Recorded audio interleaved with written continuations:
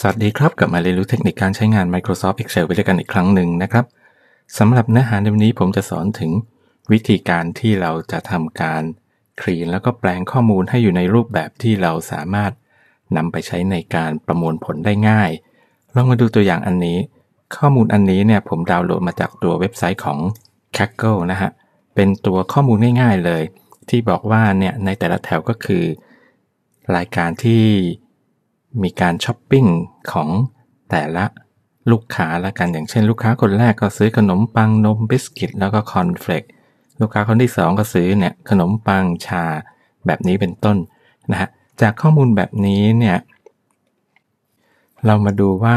หากเราต้องการที่จะเอามาประมวลผลต่ออย่างเช่น ในที่นี้เนี่ยผมอยากจะทราบว่ามีการซื้อนมไปกี่ครั้งเนี่ยเราจะประมวลผลได้ยังไง หรือว่าซื้อกาแฟไปกี่ครั้ง เราก็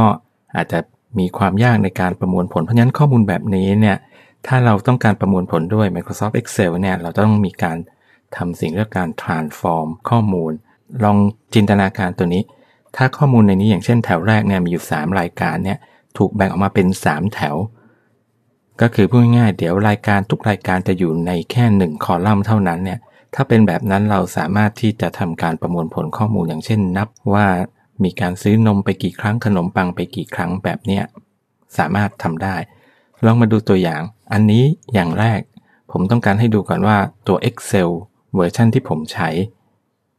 ว่าเป็นเวอร์ชันอะไร อันนี้ผมใช้ตัว Excel ที่อยู่ใน Microsoft Office Professional Plus 2016 ซึ่งหน้าตาจะมีความต่างกันนิดหนึ่งสำหรับบางท่านที่ใช้ตัว Excel ที่มากับ Office 365 แต่ว่าหลักการจะ เหมือนกันอันนี้ผมกลับมาที่หน้านี้ ในตัว Excel เวอร์ชัน2016 เนี่ย ในชีตตัว Data เนี่ย จะมีตัวเพิ่มขึ้นมาคือตัวที่เรียกว่า Get and Transform ถ้าคนที่มาจากเวอร์ชันก่อนหน้านี้เนี่ย ตัวนี้จะรู้จักกันในชื่อของตัว Power Query นั่นเอง ใน Get and Transform เนี่ย หากเราต้องการที่จะใช้ในกรณีที่เรามีข้อมูลอยู่ใน Excel อยู่แล้วเนี่ย เราต้องทำการแปลงข้อมูลใน Excel ที่อยู่ในรูปของ range เนี่ย ให้เป็น table ก่อน เราสามารถทำได้ 2 วิธีหลักๆ วิธีที่ 1 ก็มาอยู่ที่ส่วนใดส่วนหนึ่งของข้อมูลอันนี้ของเรา แล้วเราก็กด Ctrl T เลยก็ได้ Ctrl T เนี่ยจะเป็นการ create ตัว table แล้วเราก็คลิกเนี่ย table ของเรา มีส่วนที่เรียกเป็น header ก็คือแถวแรกเนี่ยทำหน้าที่บอกว่าข้อมูลเนี่ยคืออะไร แล้วก็คลิกแบบนี้กดโอเคเราจะได้หน้าตาแบบนี้คือออกมาเป็น table ละ แล้วเราจะเห็นว่ามีตรงเนี้ย Design Tab แล้วก็ตรงนี้มี Table Name นี่คือวิธีที่ 1 เดี๋ยวผม Ctrl Z กลับมา วิธีที่2เนี่ยเราก็อยู่ที่ Data แล้วก็คลิก Form Table ตรงนี้เลย ขอให้เซลล์เราอยู่สักที่ใดที่หนึ่งของส่วนที่มีข้อมูลที่จะแปลงเป็นตาราง เราสามารถคลิกตรงนี้ได้ พอคลิกตรงนี้ปุ๊บ ตัว Excel ก็จะโชว์เมนูว่า Create Table ขึ้นมาเหมือนกันในกรณีที่มันตรวจสอบแล้วว่าอันนี้เป็น range ปกติ ก็จะทำการแปลงเป็น Table แล้วก็คลิกตรงนี้ บอกว่ามี Header กดโอเคเหมือนกัน พอเราทำอย่างนี้มาได้ปุ๊บเนี่ย ถ้าในกรณีที่ 2 from table เนี่ย มันจะพาเรามาสู่หน้าจอนี้เลย ก็คือตรงนี้เนี่ย power query editor นั่นเองดังนี้เดี๋ยวผมปิดตรงนี้ไปก่อน ผมต้องการให้ดูทีละสเต็ปอะก็คือตรงนี้เนี่ย สมมุติว่าในกรณีที่เราสร้าง Table ไว้ล่วงหน้าแล้วแบบนี้ เราก็สามารถมาที่ Data ตรงนี้ แล้วก็มาคลิกตรงนี้ใหม่ from table เพื่อที่จะเปิดตัวนี้พอเปิดตัวนี้มาได้มาดูเทคนิคในการที่จะแปลงตัวนี้ออกมาเป็นให้เหลืออยู่ในคอลัมน์เดียวเนี่ย เราจะทำอย่างนี้เราจะมีเมนูชื่อว่า split column ตรงนี้ แล้วก็คลิกตรงนี้แล้วก็ split by delimiter delimiter ก็คือตัวขั้น ตัวที่ใช้ขั้นข้อมูลแต่ละตัวอย่างเช่นในที่นี้เนี่ยก็คือคอมมาเนี่ยเป็นตัวใช้ขั้นรายการ สินค้าแต่ละตัว เพราะฉะนั้นเราก็มาคลิกตรงนี้ by delimiter หาพอเราได้แบบนี้เนี่ยตรงนี้ by default ตรงนี้ขึ้นเป็นคอมมาแล้ววิธีการแปลงทำได้ 2 แบบหลักๆ อย่างเช่น ถ้าตรงนี้เนี่ยเราเลือก default เลยบอกว่าเนี่ยคือทุกครั้งที่เจอตัวคอมมาก็จะทำการแยก ข้อมูลออกมาเป็น1คอลัมน์สังเกตตรงพวกนี้ดูนะครับ แถวแรกเนี่ยมีนมขนมปังแล้วก็บิสกิตเนี่ย ถ้าผมใช้ default แบบนี้เลยกดโอเคคราวนี้ข้อมูลจาก 1 คอลัมน์จะกลายเป็น 4 คอลัมน์แบบนี้ละ โดยที่ข้อมูลแต่ละตัวก็จะถูกแบ่งออกมาเป็นแต่ละคอลัมน์ของมันเอง อย่างเช่น ในรายการแรกเนี่ยมีอยู่ 3 ตัว เพราะฉะนั้นตัวที่ 4 จะมีค่าเป็น null แบบนี้ พอเราทำแบบนี้ได้เนี่ย เราก็ต้องมาบอกอีกว่า จากตรงนี้เนี่ยเราต้องทำให้เหลือแค่ 1 คอลัมน์ เราก็สามารถมาใช้ตัว transform แล้วก็ทำตัวนี้เนี่ย unpivot ตัวคอลัมน์แบบนี้คันนี้เราก็จะเหลือออกมาเนี่ยเป็นคอลัมน์แบบนี้ ตรงคอลัมน์ value คือสิ่งที่เราต้องการตัว attribute นี้เราไม่เอา เราก็คลิกขวาแล้วก็ remove ตัวคอลัมน์นี้ได้ เราก็จะเหลือแค่ข้อมูลแบบนี้ แล้วเราก็กลับมาที่ไฟล์ตรงนี้ close and load เราก็จะได้ข้อมูลแบบนี้ ซึ่งข้อมูลนี้เราจะเอาไปทำเป็น pivot table ก็ได้ เช่นพอมาได้แบบนี้เนี่ย ผมก็มา insert แล้วก็ตัว pivot table ตรงนี้ แล้วก็กดโอเคจากนั้นเนี่ยเนื่องจากข้อมูลอันนี้เป็นแบบข้อมูลง่ายๆ มีแค่คอลัมน์เดียว แล้วก็บอกว่าผมต้องการหา ว่าเนี่ยรายการพวกนี้เป็น unique และรายการแต่ละอันเนี่ย ถูกสั่งไปกี่ครั้งตรงนี้ก็เป็นเขาพูดง่ายๆเนี่ยขนมปังถูกซื้อมากที่สุดแบบนี้อาคันนี้ผมจะทำให้ดูอีกวิธีหนึ่งจริงๆแล้วถ้าเราเจอสถานการณ์แบบนี้เนี่ย อันนี้ผมกลับมาที่ตรงนี้ใหม่ ตรง table ที่เป็นข้อมูลต้นทาง ผมมาที่ data ตรงนี้ใหม่ แล้วก็ from table เนี่ยคลิกไปใหม่อ่าพอผมได้ข้อมูลแบบนี้เนี่ย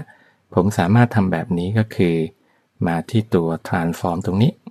แล้วเราก็มา split column เหมือนเมื่อกี้เลย by delimiter เนี่ย แต่ครั้นี้เนี่ยผมมาที่ advanced option ตรงนี้ คือตรงนี้ก็ยังเป็นคอมมาแล้วก็เป็นเนี่ยให้แบ่งข้อมูลทุกๆ ครั้งที่เจอตัวคอมมาส่วนตัวนี้คือตัวสำคัญแทนที่จะ split เป็นคอลัมน์แล้วก็ split เป็น rows แทนตรงนี้ แค่นี้เอง แล้วเราก็กดโอเคลองดูนะฮะ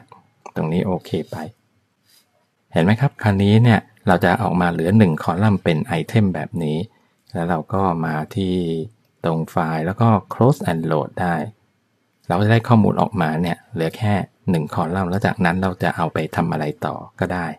อะคราวนี้มาดูอีกตัวอย่างหนึ่งโดยปกติถ้าเราเจอข้อมูลแบบนี้เนี่ยคือถ้าเราอยากจะมีอีกคอลัมน์หนึ่งเนี่ยเป็นเลข 1 2 3 4 5 ไล่ไปเรื่อย ๆ ให้รู้ว่า สมมุติว่าอันนี้เป็น order ID เนี่ยเราสามารถให้ตัว power query เนี่ยช่วยทำได้อันนี้เดี๋ยวผมลบนี้ไปก่อนมาดู เทคนิคนะฮะเพื่อเราจะได้รู้ว่าในแต่ละออเดอร์ ID เนี่ยเขาซื้อกันกี่อย่าง เพื่อที่จะไปทำ basket analysis แยกตามออเดอร์ ID ได้ อันนี้ผมก็มาเหมือนเดิมก็อยู่ที่ตัวส่วนหนึ่งของข้อมูลมาที่ data แล้วก็มา from table ตรงนี้ ในนี้เรามาตรงนี้ add column ผมจะ add column ที่ทำหน้าที่เป็น order ID ผมก็มาคลิกตรงนี้เนี่ยแล้วผมก็เลือก index column ตรงนี้ คลิกไป มันจะได้เป็นเนี่ยศูนย์หนึ่งสองสามไล่มาเรื่อยๆ หรือว่าตรงนี้จริงๆเราจะให้เริ่มจากหมายเลขอะไรก็ได้นะฮะ คือถ้าตรงนี้ผมอยากให้เริ่มจากหมายเลขหนึ่งสองสามสี่ห้าผมก็มา reverse step ตรงนี้สเต็ปสุดท้ายที่คือ add ตัว index เนี่ย ผมมาคลิกตรงนี้ ลบทิ้งเหมือน undo เนี่ย ลบทิ้งไป อ่า จะได้กลับมาเป็นแบบนี้คันนี้แทนที่ผมจะคลิก index column เลย มาคลิกตรงนี้ มาดู choice มันก็จะมีแบบว่าเนี่ยถ้าไม่บอกอะไรก็คือจะเริ่มจากศูนย์แต่ถ้าเราจะเริ่มจากหนึ่งก็ได้หรือว่าจะเริ่มจากอย่างอื่น อันนี้ผมเอาง่ายผมเอาเริ่มจากหนึ่งคลิกไป ผมก็ได้ตัว index column ตรงนี้มา แล้วเราสามารถเปลี่ยนชื่อได้ ผมบอกว่าดับเบิลคลิกไปบอกว่าเป็น order id ละกันแบบนี้คราวนี้ถัดมาผมสามารถที่จะ split ตัวคอลัมน์นี้เนี่ยหรือว่าผมจะย้ายให้มาอยู่ข้างหลังก่อนก็ได้เนี่ย drag แล้วก็เนี่ยย้ายมาจะได้มองดูข้อมูลเป็นแบบนี้ แล้วถัดจากนั้นผมก็อยู่ที่คอลัมน์นี้เนี่ย ผมกลับมาที่ transform แล้วก็ split column เหมือนเดิม by delimiter เดี๋ยวลองดูนะครับ order เบอร์หนึ่งเนี่ย เดี๋ยวจะออกมามี 3 บรรทัดเพราะว่ามี 3 รายการ แล้วผมก็มาที่ advanced ตรงนี้คลิกเป็น row แล้วก็กดโอเคอ่าคราวนี้เห็นไหมครับ order เบอร์หนึ่งเนี่ย จากที่ตัวนมขนมปังบิสกิตอยู่ในแถวเดียวกันก็แตกออกมาเป็น 3 แถว พอเราได้แบบนี้เราก็กลับมาที่ตัวไฟล์ตรงนี้ close and load อันนี้เราก็จะได้เนี่ยในแต่ละออเดอร์อย่างเช่นออเดอร์เบอร์หนึ่งรายการแรกคือนม รายการที่ 2 คือขนมปังรายการที่ 3 คือบิสกิตแล้วตรงพวกนี้เราสามารถตั้งชื่อตรงตารางเพื่อให้ง่ายต่อการจำก็ได้แทนที่เป็น table ชื่อแบบนี้เนี่ย ผมก็ตั้งชื่อว่าเป็น basket แบบนี้ก็ได้นะฮะแล้วถัดจากนั้นเราก็สามารถที่จะไปทำ ตัว data analysis ด้วยตัว pivot table หรือว่าตัวอื่นก็ได้ อย่างเช่นถ้าจะ pivot ก็มาคลิก insert แล้วก็ pivot table แล้วก็โอเคแบบนี้นะครับ เราก็บอกเนี่ยมานับได้เหมือนแบบเมื่อกี้เลย อย่างเช่นอันนี้เราก็จะเห็นว่าเนี่ยรายการไหนที่ถูกสั่งซื้อมากสั่งซื้อน้อย เราจะให้เรียงลำดับในนี้ก็ได้ อย่างเช่นเรียงลำดับจากมากไปน้อยผมก็มาคลิกสักที่ใดที่หนึ่งในคอลัมน์ที่ต้องการเรียงแล้วก็มาที่ Data แล้วก็มาคลิกตรงนี้เนี่ยเรียง Z to A ก็คือจากมากไปน้อยคลิกทีหนึ่งนะเราก็จะเห็นว่าขนมปังเนี่ยถูกสั่งซื้อไป 13 ครั้ง รายการสั่งซื้อทั้งหมดมีอยู่ 66 ครั้ง แบบนี้เป็นต้นเอาละครับสำหรับตัวอย่างวิธีการใช้ตัว get กับ transform สำหรับข้อมูลในลักษณะเช่นนี้ ในวันนี้ก็ขอจบลงเพียงเท่านี้ ขอบคุณสำหรับการติดตามรับชม สวัสดีครับ